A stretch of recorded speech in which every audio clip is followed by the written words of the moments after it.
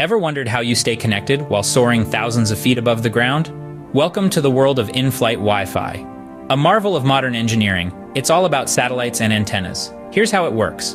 An air-to-ground ATG network of ground-based towers sends signals skyward. These are picked up by onboard antennas, like invisible threads connecting you to the world below. Inside, a router distributes the Wi-Fi throughout the cabin, ensuring you're just a click away from the world. But what happens when you're over vast oceans or remote landscapes? Enter the marvel of satellites in geostationary orbit about 22,000 miles above Earth, so you don't miss a beat of your favorite sports scores no matter where you are. It's technology meeting the clouds, keeping you uninterrupted and connected. Remember, in-flight Wi-Fi is a shared resource, so it might not be as fast as your home network.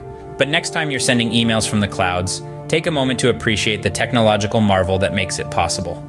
Until next time, keep the blue side up.